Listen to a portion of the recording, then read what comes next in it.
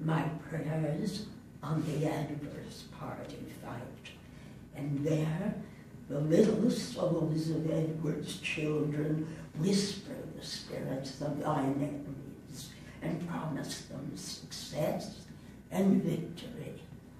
Bloody thou art, bloody will be thy end. Shame serves thy life, and will